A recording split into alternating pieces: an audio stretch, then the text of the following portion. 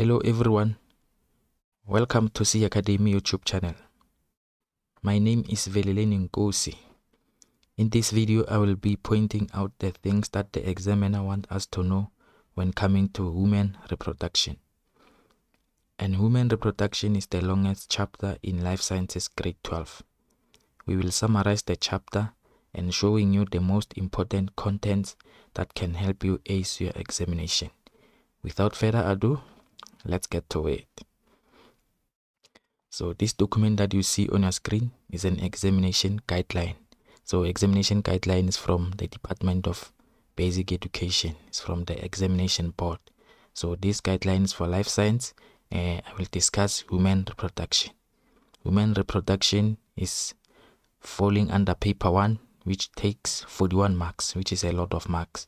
So we must make sure we we read the, the right things and then it fall under term one. It takes three weeks uh, duration of teaching.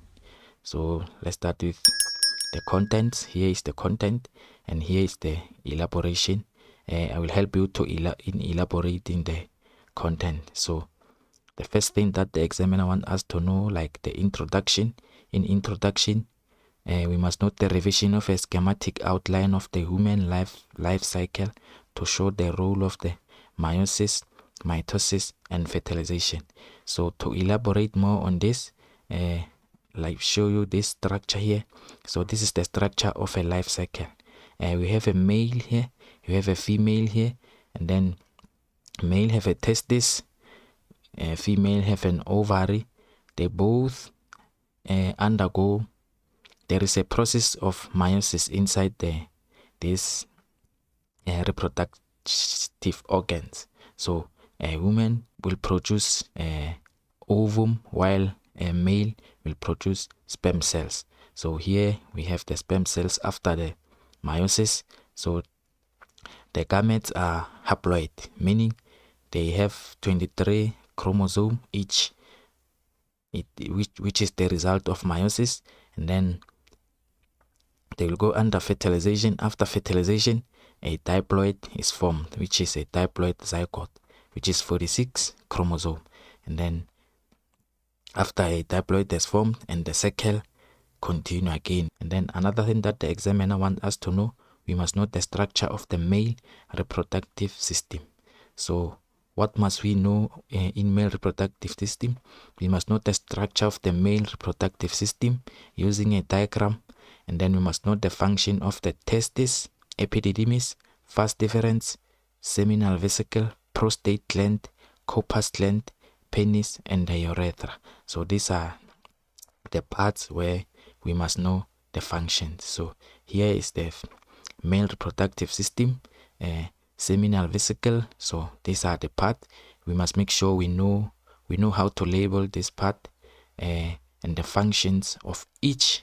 There are about nine organs. So we must make sure we know each functions like function of a penis, function of a urethra, function of the testis, scrotum. These are the things that the examiner wants us to know. And then another thing that the examiner wants us to know is the structure of the female reproductive system. In female reproductive system, we must know the structure of the female reproductive system using the diagram. We must know the function of the ovary, fallopian tubes, uterus lining by endometrium, cervix, vagina with its external opening, and the vulva. So these are the, the functions that we must know. We must know the purpose of each part here, and then we must know the structure of the ovary using a diagram showing the primary follicle, the Graafian follicle, and the corpus luteum. So uh, to clarify things, this is the female reproductive system uh, we have an ovary, endometrium, which is the lining inside the uterus, fallopian tube, cervix, vagina, and vulva. So we must know the functions of this part here.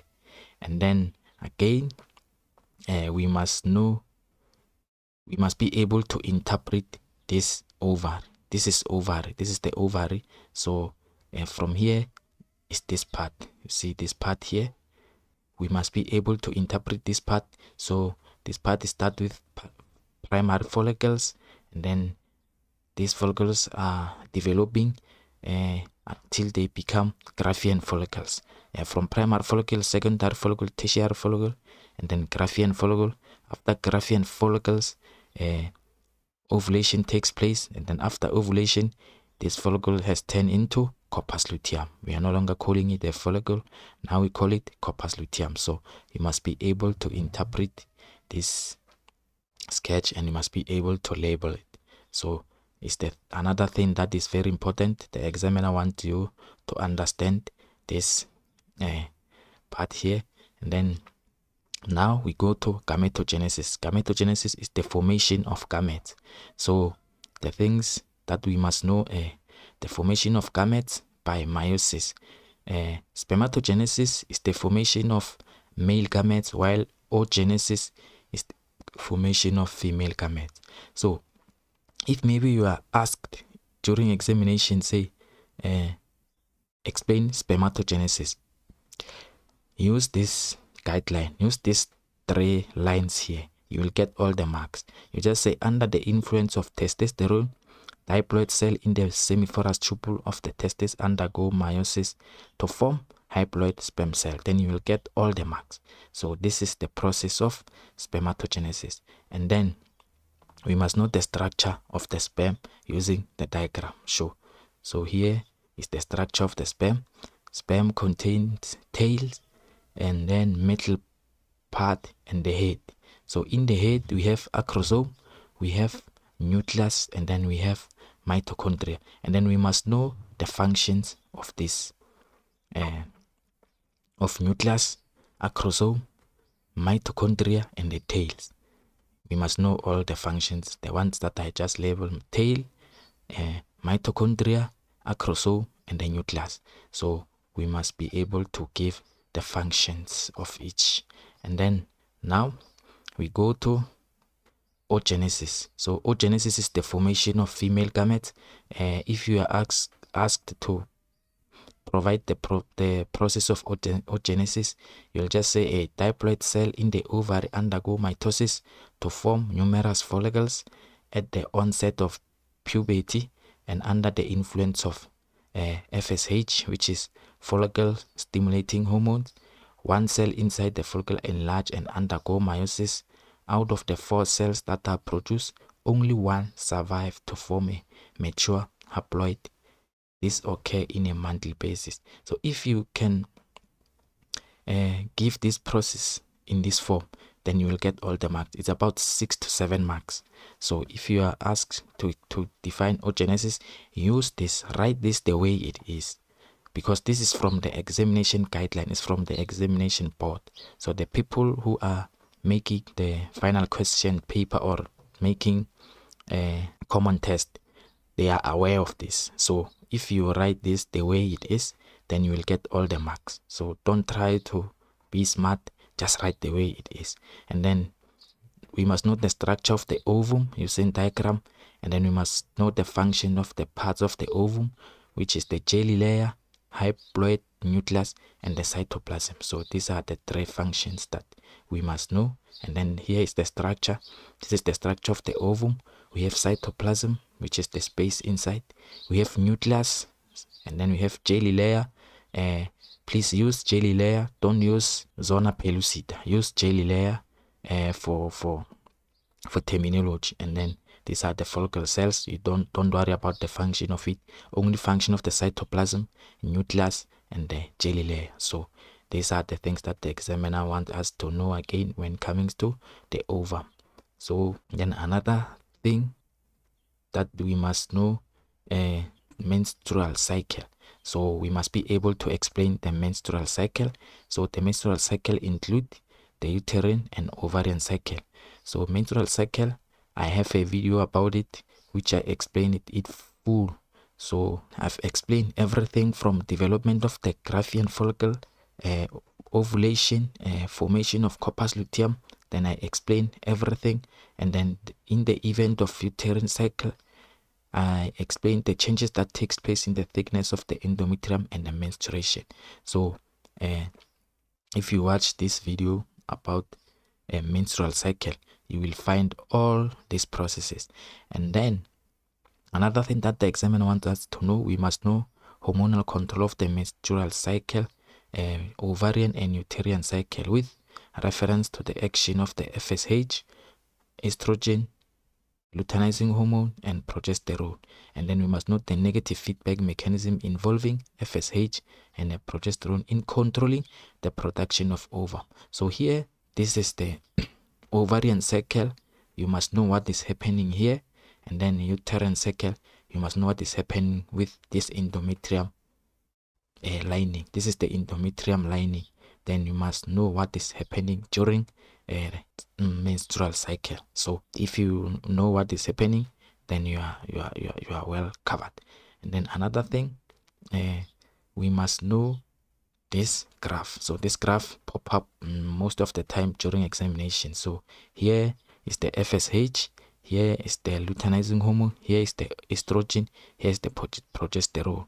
So these are the days you must know from day 1 to day 7, from day 7 to day 14, what happened with the FSH, LH, uh, estrogen, and progesterone. So, this is the graph. It will come out the way it is during examination. So, you must be able to label. Sometimes they will ask you to label it, then you will be label it. These are the follicles as they develop. And then the negative feedback is when progesterone is going up and then FSH is going down. So this is the negative feedback. Then uh, during the video of uh, menstrual cycle, I've explained it in full. Then please, if you haven't watched it already, please watch it. And then another thing that the examiner wants us to know uh, is the fertilization and the development of zygotoblastocyst. So here you must know the definition of copulation and fertilization and you must know the process of fertilization and then you must know the development of zygote from zygote to embryo then morula and blastula or blastocyst to fetus. So you must know this process. So here uh, let's say the process of fertilization here are the sperm then penis will drop the sperm inside the vagina and the sperm will move up to the uterus, uh, passing the cervix to the uterus, and then going to the fallopian tube. That is where fertilization is taking place. And then, if the sperms find an ovum, and then one of the sperm will enter its head inside the ovum, then drop a nucleus. So the nucleus contains genetic material, then that is when fertilization has taken place. Only one. So the other ones Immediately if after one sperm cell passes through, this jelly layer becomes very hard so there's no other sperm that will deliver the the nucleus inside. So this is the the process of fertilization. So you must know we must be able to interpret this process. And then another thing we must know the development of zygote from zygote to embryo, morula, and blastula or blastocyst to fetus. So another thing that we must know uh, is the implantation. So uh, the implantation, gestation, and the role of placenta. So you must know the definition of implantation and you must know the role of the estrogen and progesterone in maintaining pregnancy. We know that progesterone and estrogen are the one that are responsible for stimulating the endometrium. So endometrium is the lining inside the uterus. So estrogen and progesterone are, are the ones that are taking care of the pregnancy. And then you must note the structure of a developing fetus in the uterus using a diagram. And then you must note the functions of the following parts. Chorion, chorion villi, uh, amnion, amnion cavity, and amniotic fluid. Umbilical cord including umbilical artery and umbilical vein and the placenta. So you must know the functions of this part here. So uh, the developing structure of a fetus in the uterus, this is the structure, and then you must be able to label the placenta, uh, the fetus, and then the chorion, which is the membrane, and then the amnion, which is also the membrane. Here we have double membrane. One is chorion, which is the uh, outer membrane and then amnion is the inner membrane and we have amniotic fluid which is the fluid inside and then inside this we call it amniotic cavity. This is where the fetus is growing inside. So you must be able to label this sketch and then you must uh, explain the functions of the chorion uh, the functions of the placenta function of the umbilical cord uh, or umbilical vein and umbilical artery and then the function of the amniotic fluid. So these are the functions that you must know.